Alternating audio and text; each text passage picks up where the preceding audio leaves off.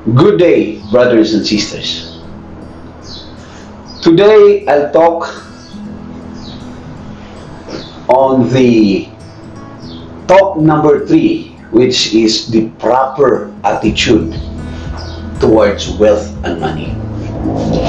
This is Brother Rodien Paca of BCBP Talisay. Proper attitude towards wealth and money. Is there a proper attitude for wealth and money? What is our manual is talking about? What is BCBP teaching? Talks about the proper attitude of wealth and money. The three highlights of this talk. Number one, what is our Holy Bible talks about the money. We'll taking we'll be taking a lot of Bible verses, share it to you brothers and sisters.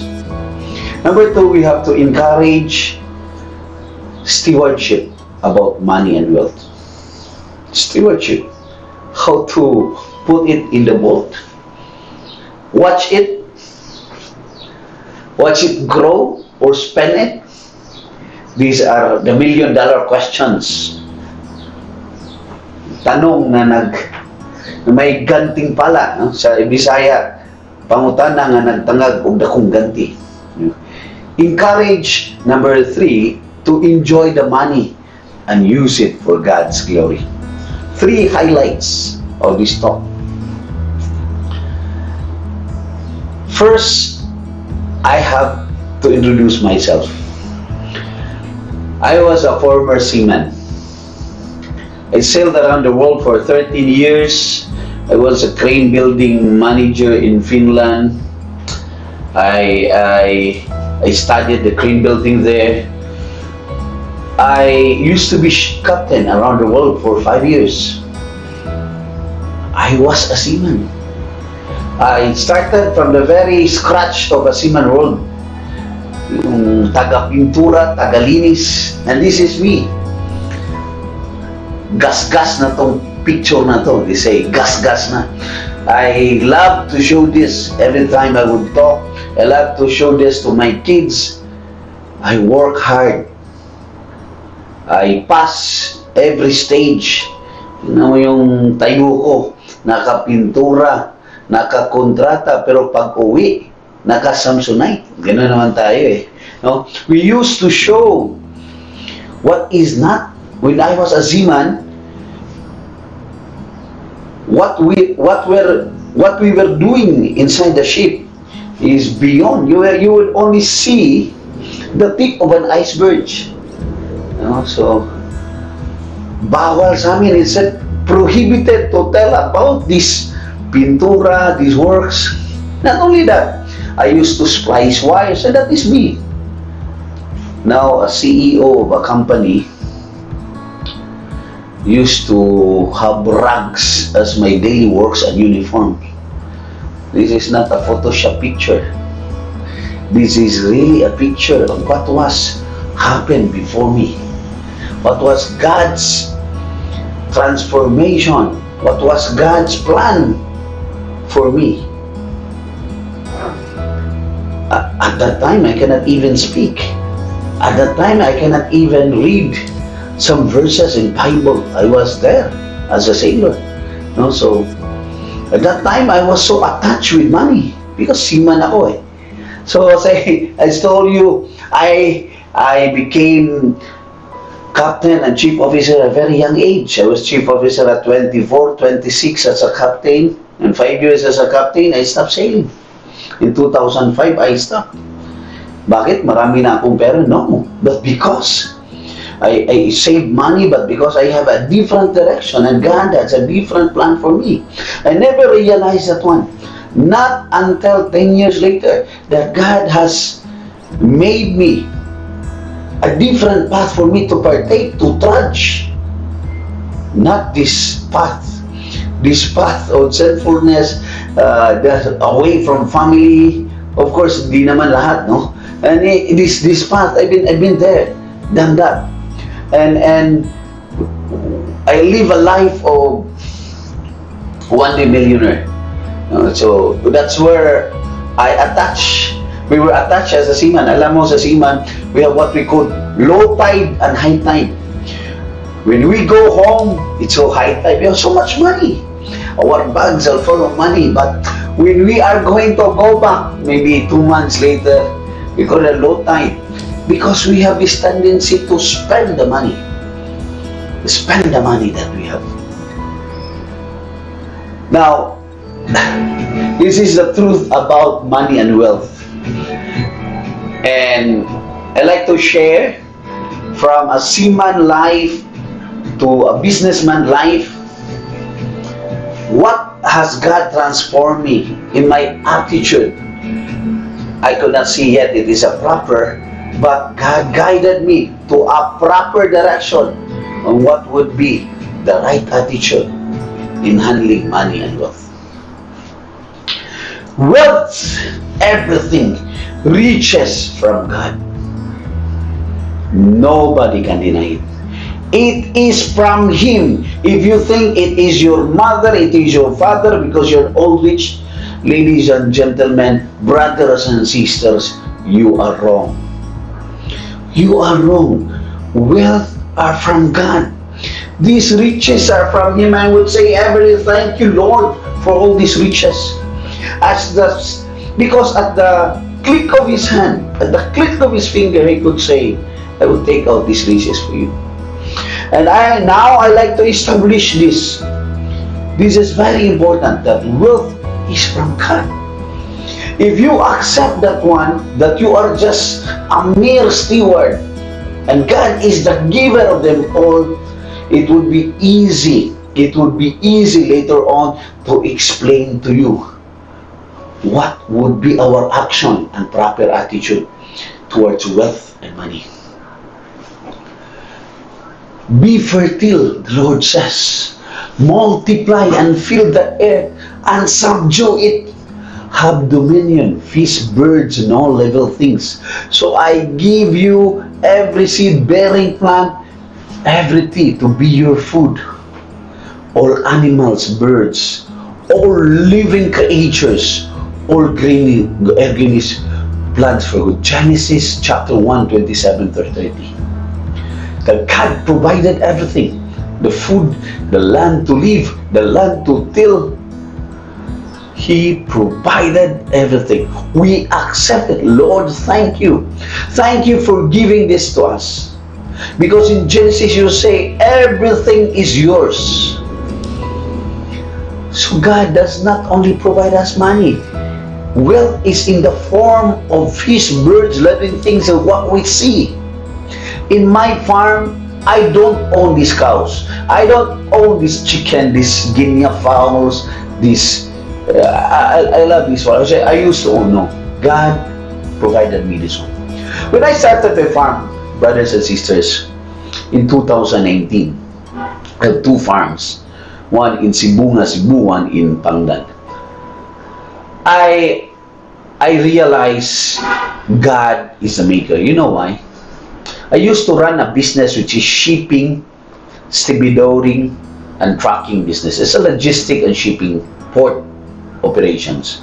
If I want to operate 24 hours, simple, I will get my telephone and say, Boss, I tell my foreman at the port, double pay. I want to work you 24 hours. If I want to see in my farm these creatures, for example, I want to see eggs of my geese, I cannot pay them money or my guinea fowls. I want you to lay eggs. So, can, can I bribe them? No.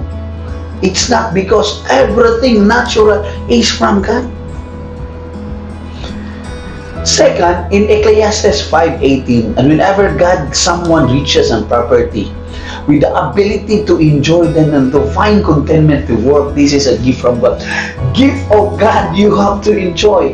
When God gave us gifts through our farms, when, God gave us gifts to our children, when God give us gifts to our wealth, whatever we have, whatever we have, we have to enjoy it it is it is given that God wants it, wants us to enjoy it. With entering the city of God told, I am giving you a land flowing with milk and honey. Houses that you don't, that you, you did not build vineyards that you did not plant. God gave it to you. Houses that we don't build. Farms that we don't make. Eggs that we don't pay.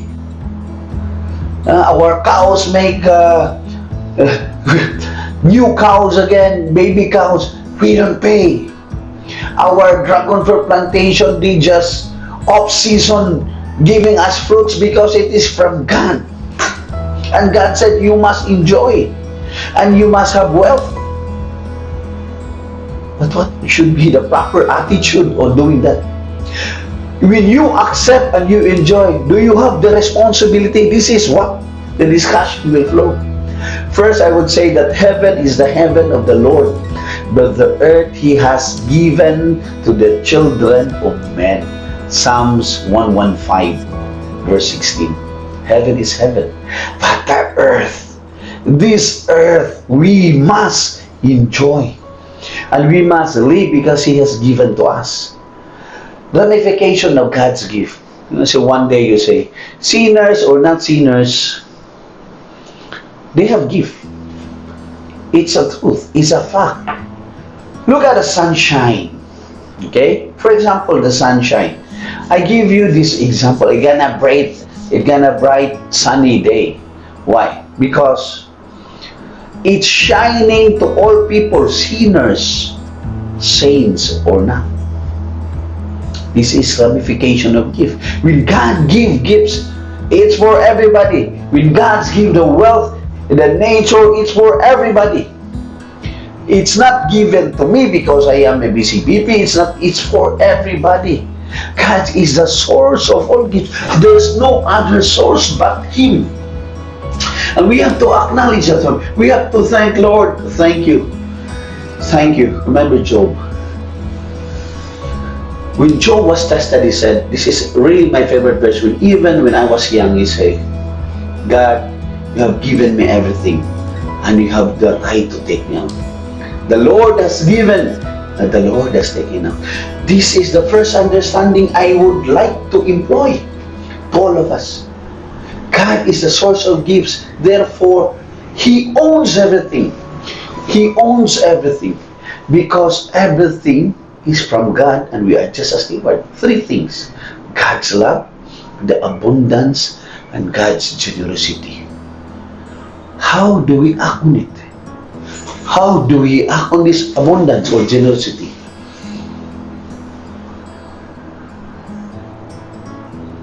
God's love to me, to you. How can you transfer God's love to other people?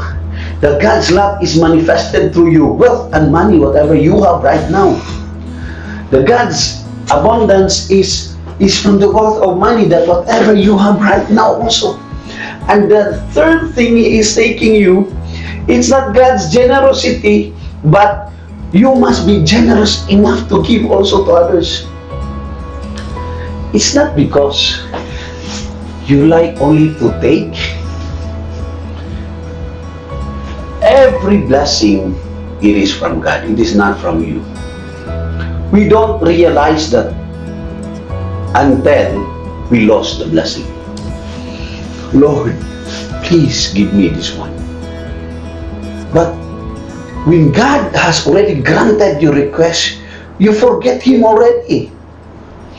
When I was still sailing, we used to give allotments to our wife or at that time when I was single to our mother. And every time they ask money from us, we think we are the kingmaker already. We, I, I thought I was the breadwinner already. I was sending children to my, my my siblings to school. So when I go home, you're like a king. But it should not be the situation. I see my bank book every day. I still have this laminated, the bank book, and I was still single. withdrawal every day, withdrawal every day. Not from. Not one of it am given to church.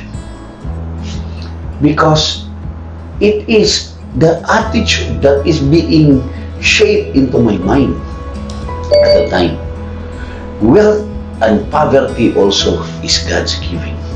Now, in God's grace, His grace will tell you today, Rodien, you'll have wealth. Yes, thank you, Lord. Thank you for these eight companies that you have given to me. With around 800 people that I have managed. But tomorrow, Rudin, we lost the client and you'll be poor again. Please, Lord, please. I lose my face. I'll be embarrassed. This is our culture. We are afraid to lose something that we don't own in the first place. Remember, I told you, it's God's wealth. We're just steward. The Lord has given, the Lord has taken away. Everybody, every businessman passed the pandemic. It's so challenging for us. Some businesses that we have to maintain, this is just for the sake of our people. We just keep it for the sake of the people, not for profit. For our employees. Easily, during pandemic, I could say I just fold for some companies. Take not the risk of pandemic for another two to three years. But what good it will give it to me.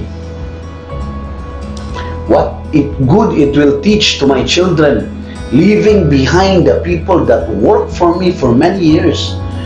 Help the company grow and leave them behind.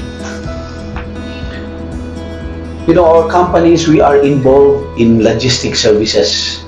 And during pandemic time, even though these are essentials, but our volume was down, we're down. We have different challenges. We cannot cross from one place to another. And our expenses rose up. Some of our operations were even stopped. But God, we just pray, Lord, we were there in, when good times and we're there to serve you. We just steward whatever you have. Take this anytime. It's it's in our hands. Take it. If you want this to give it to be given to somebody for them to survive, we'll make it. That kind of mentality took us years to understand because the word stewardship. There were unjust money that we have to talk about. The things that we use in unjust operations. These are the things that God really forbid for us. Because God makes already occasions for us to earn honestly. And why we show these unjust money operations that could only create injustices to one part or another. I am running ships. I am selling vessels. There are times that due to the essentials of time, we have to pay something. But that is necessity, evil of the operations. Like if I will, if I would not pay, there are like thousands of people waiting in the next port for a few thousands of pesos. This is what we call necessary evil. For otherwise, you'll be hold for one year. This is justices that we're talking about. How you can manage, how we gonna survive, and how we gonna balance those people who depends on our operation.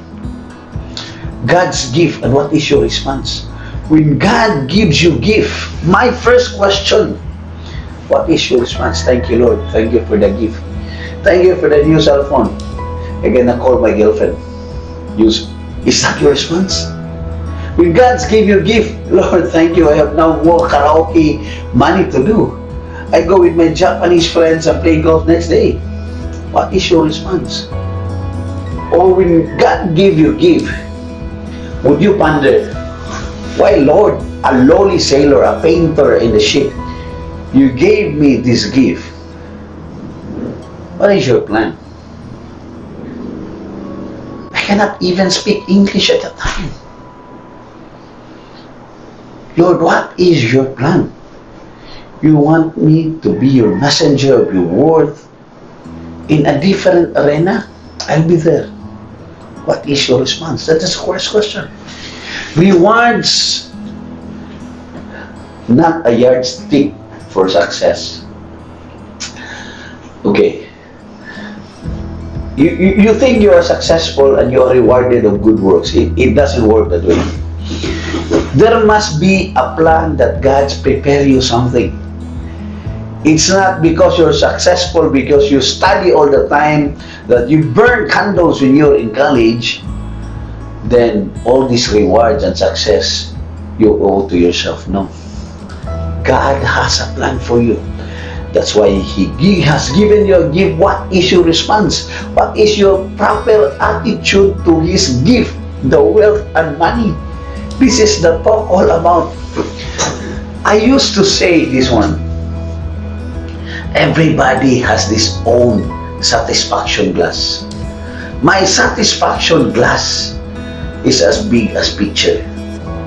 That picture. But the satisfaction glass of other people, of my friends, is just this one.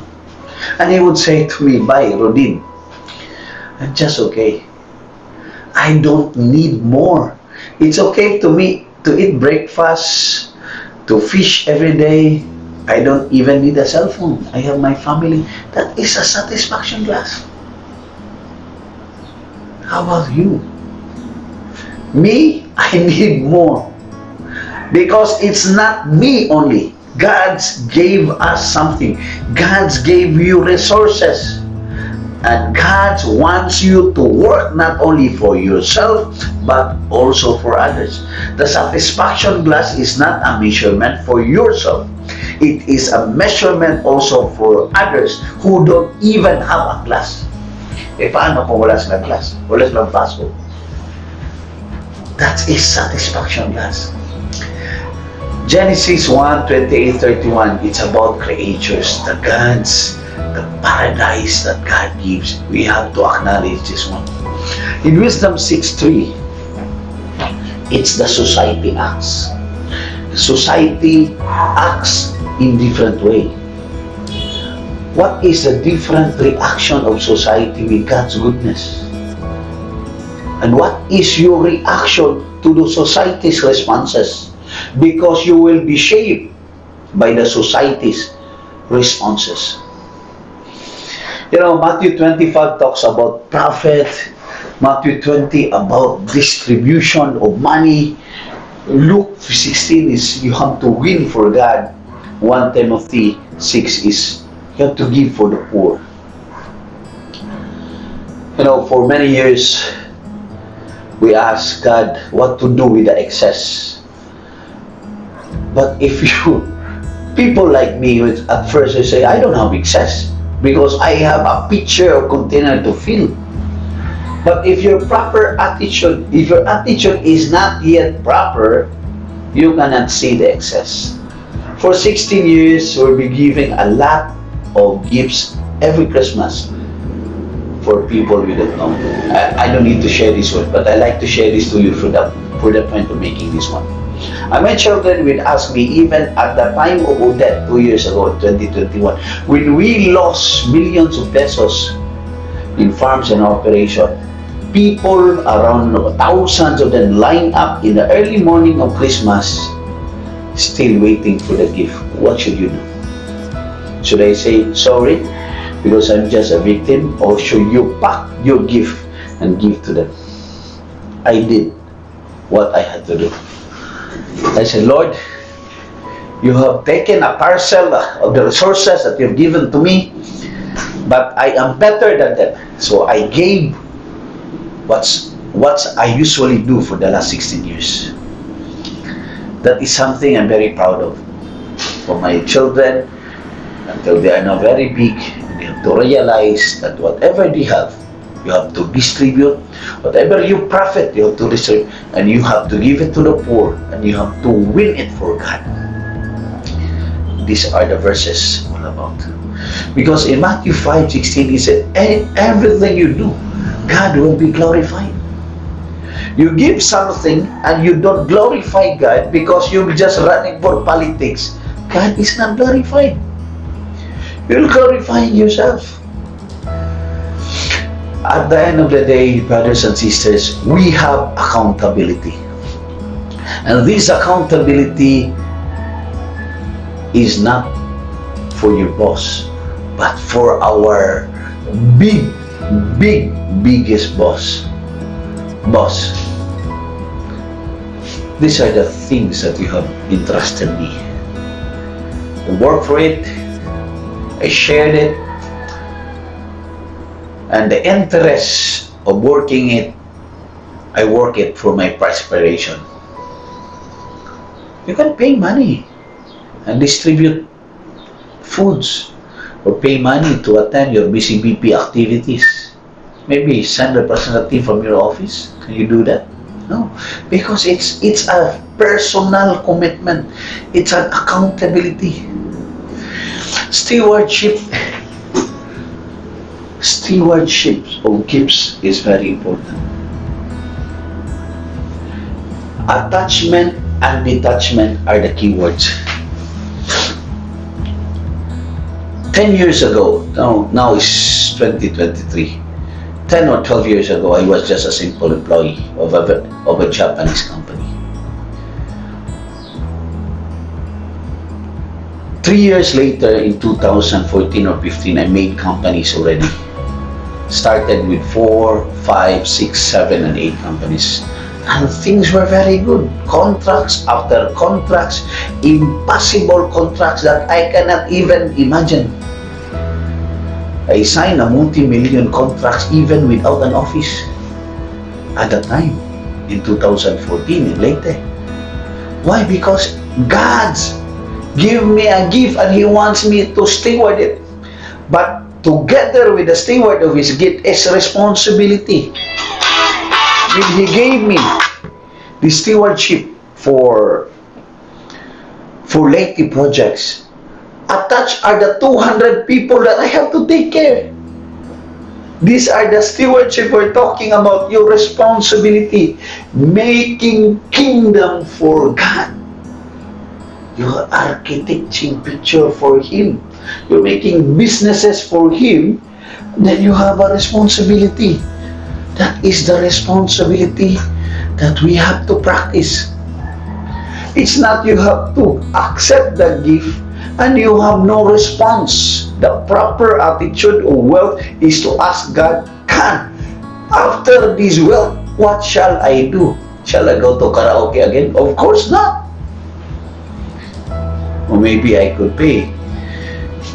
Maybe I could have girlfriend already because you can afford that. And then see one person is when they have so much money, they can play golf already every almost every day and they have to nothing to do with their money. Say, I can afford, I can do it. I can have girlfriend, and, and the greenness will come in. You're not even giving the right uh, salary already for your employee. You're giving them not the right benefits. You're not taking into considerations what they are doing.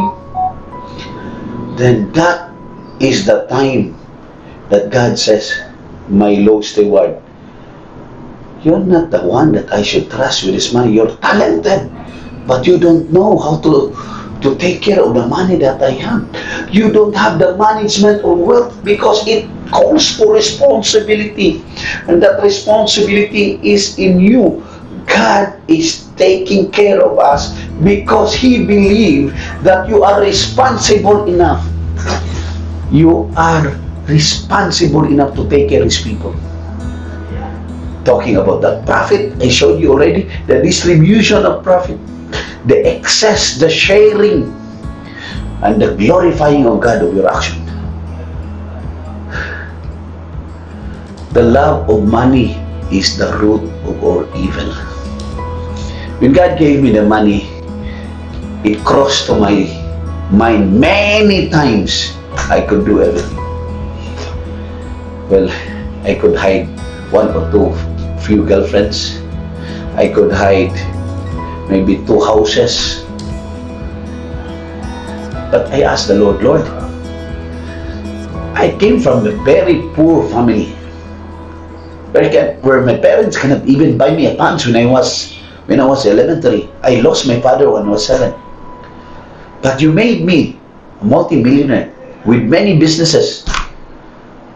Money that I don't want to take. But I want to partake, to, to share for your kingdom and glory. It does that, I don't need it. But I, I said, there must be something with it. I asked God, why? This is so many. And, and, and this is more than enough. But what, what I asked for. Because He said, I am waiting for your response. The proper attitude towards money and wealth is to say, Lord, what should be my response? Should I sing Stand By Me again in the karaoke? No, of course. His response is to do civic works, is to do religious works, is to extend yourself, is to multiply yourself, is to do the works of God through you. You will be His ambassador because you are given. You, it's, it's given these riches you know, the money, this attachment, and you will be forced to, you will be forced and, and sucked by this one. No, because attachment is the real danger. You must learn how to detach, to hold, hold, hold, because this is a dangerous preposition. Remember, God gave you something. And God is testing, testing us that what we do with wealth and and money that we have. We can easily close our door, buy BCBP. Uh, we can just buy a property in Madrid or buy property in, in you know, in Europe now opening. Uh, if you buy properties 20 to 25 million, it's easy. You'll be citizen already. But how can you see the suffering of the people if you're if you're there? How can you see, how can you participate the community of BCBP if you're there? You see only yourself. Again, we're going back to the picture and the glass. I tell you, the glass I tell you is that it's filled up. I'm okay. But I am an unfilled up picture. I am a half-filled picture. I want to be filled up more. Not with wealth and money. I have to be filled up more with the purpose. The proper attitude is what is your purpose with the wealth and money that you have. You know, I've been teaching in United Nations as a lecturer, trading. I used to it that I, I've seen a lot of around the world what the people need. And it's it's not about money. It's about trade. It's about giving works. Uh, I've been a lot of countries as United Nations speaker, maybe more than 20 years to be exact. And, and to be a speaker and to be there and to have experiences to around 80 to 90 countries. Uh, what is my responsibility? What is the stewardship once God's want me to do? I am just attached to wealth and fame? Can I detach from it? You know, when we have the wealth, when, when our businesses started to, to go down and our cash flow started to drain, uh, for some people, when we lost properties due to typhoon or death, maybe for some people will say, hey, sorry, I have to close this one, I have to close this one, I have to close, and regroup as an economist. I have a PhD in management. Okay, I have an MBA in, in London, so I have all these tactics to say. But never it is taught in, in my PhD, never it taught in my MBA that there is people behind the business. And, and And it should not be behind. It's in front of the businesses that you do. Because the businesses makes profit. And the profit you have to distribute. And the distribution must glorify God. I showed that to you later, a while ago. That is the great purpose. That is the proper attitude toward wealth and money. Amount is not important, but important is how to use it. Whatever your talents, whatever your wealth, it is very imperative how to use it. The Bible, the Holy Bible, have a lot to say. God will hold us accountable during the end of time. Matthew 25, 30. God will hold us accountable. The wealth is gift of God for the betterment of society. Danger is attachment. That's why I tell you, how I can detach from all these things is a challenge. Lord, I cannot detach easily. But His message, our participation with BCBP community, our daily prayers, prayers will teach us that there must be a detachment from all these things. We must be like Job saying, The Lord has given, the Lord has taken away.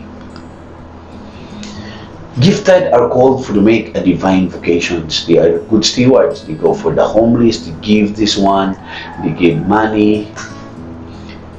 We are called also to, to make a divine vocation. We help the poor. We make a stewards. We make missionary works. Most of all, we make more Christians because Christians are like us. And these are mission works that we have to do. We are not owners, but only stewards of God's properties. Every day, I would say everything. I lost a bidding. I'm not a steward. I'm not the owners, but steward of God's properties. Every time I have a loss of property, you know, logistics, sometimes our dump truck bump something, our prime mover bump lost something. Uh, motor pole has a big engine issue I am the owner, says the Lord. You are the steward. Take care of the things that you have been taking over. One day I'll take that from you. You should not cry. Would you cry? Of course not. Faithful stewardship. Spiritual poverty means joyful and concerned for possession. I'm praying for this. My kids, I I have farms that I train them and I train them on the family is trained on on humility on on the proper understanding of what you have not on the social things not on the cell phones not on the malls and everything if I could partake to my family and to my friends the faithful especially that's why I'm making this these uh, these lessons, a discussion because I have to share what is my understanding and my real experience of a faithful stewardship. Simplicity, you know, gift of God, and you have to manage. We lost something, but we try to save. I lost something, but God, even coins, we just say, God, this is from you. Wealth available to others, we still continue to help. We just trust and leave everything to God, you know. I just had my angioplasty three weeks ago. And the cost was tremendous. And we have cash flow problem with our companies, we have volume problems on our clients. And still, I am here. And there were days and there were nights that I worry, but I read something that says 365 times. The Lord says, do not worry. Do not worry. Trust everything to God. You know, the wrong attitude, the wrong attitude towards wealth and money is you worry that you lost your money. I pray to God that I should have the proper attitude of not to worry. Because He said 365 times, do not worry about tomorrow. Do not worry. Just trust me. Have faith you know, I, I, I used to, I used to tell this one, uh, and this story of, I went to, I have a talk of United Nations in Indonesia a month ago, last week of January, and and 2023, and and you know the airport are full of Muslim, and this guy, this guy has a tattoo I see among the Muslims, one of them at the back of his hand and said, I a 141 then. God said, I'll be with you. I'll be there to encourage you, to strengthen you, to raise your right hand. A month later, I was admitted to an angioplasty operation. And I can hear his voice it's first time I was hospitalized. First time in my life. Never been in dextrose, no? Never been in, never been in hospital bed.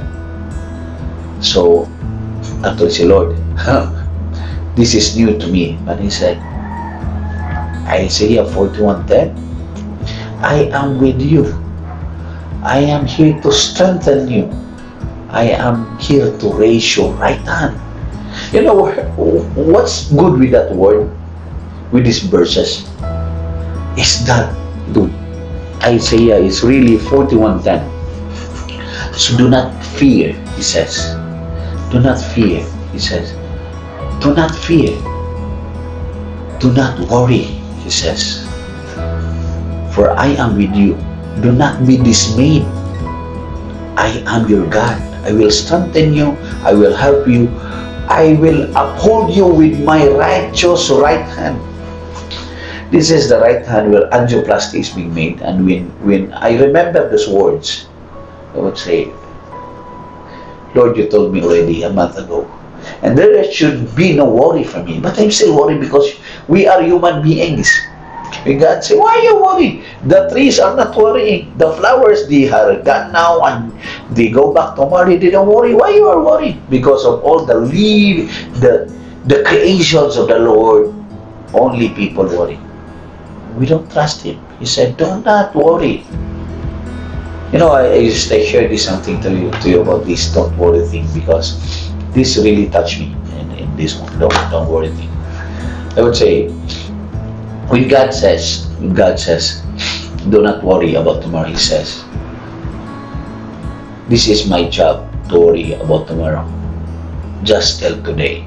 And every day I'm living every day like this. Lord, it's your job about tomorrow. You tell me that. Please, please, part of your job, take care of me. I just pray for you. Last the Lord said, cast your burdens on me. Do not worry. Live about tomorrow. That's my work. He says, can you do that? Can we do that, brothers and sisters? Can we do that? Of course we can. Amen. Generosity index. Okay, some of us are not so generous. They're just giving uh, this, pouring this wine. Some are people are like generous already, uh, pouring a little uh, as big as this. Some people they are really kuripot, no? They are so stingy. They can just give a cup of coffee. Some people can even give a barrel. That is generosity index of people. You have time, you have your treasure, you have your talents, these are your wealth. What is your generosity index? What would be the proper attitude you have towards your wealth and money? Will a man rob God? Yet you have robbed me. But you say, in what way have you robbed you? In tithes and offering. Malachi 3. You know, I love this verse, you know. and I love the picture also. You say, are we loving God? 10% of what we have another sharing I have that since 2014 we we tried to send uh, contemplative nuns to different schools.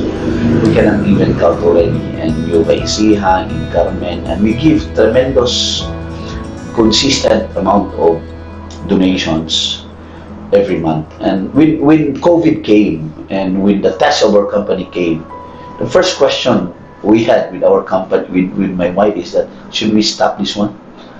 But but those were the times also that those nuns really need our help.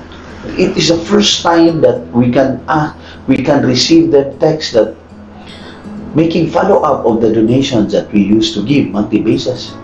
So should be be the right attitude towards your wealth and money. How much you can share? What is your generosity index?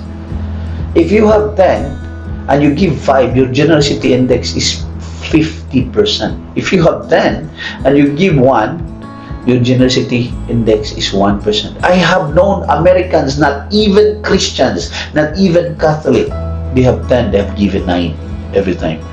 Their generosity index is 90%. What is yours? Well, I'm here I'm done. The discussion starter, it is now here in my back, saying and judging what are the gifts of creation God want me want me to enjoy. What does God want me to enjoy? What does God want me to remove? Because they lead me to sin. What does God want me to give up sacrifice or love of Him? How can we grow in being effective stewards of God's wealth and resources? Entrusted, how can we grow in gratitude and generosity and entrusting God over our material livelihood needs? In growing in spiritual poverty or simplicity, what are the basic genuine needs? What are the wasteful attitudes do I have? So these are reflections. If I were to do only three, what are the three outward expressions of simplicity mentioned that I will prioritize first? What are the next two or three? List down ways or given a present condition on how we can make our own money, wealth, and resources available to others. Brothers and sisters, thank you very much. I am Captain Rodien Paca and I am a businessman from BCBP Talisay. Thank you for seeing this talk on the proper attitude towards wealth and money. God bless all of us. May God protect you all the time and your family. Good day.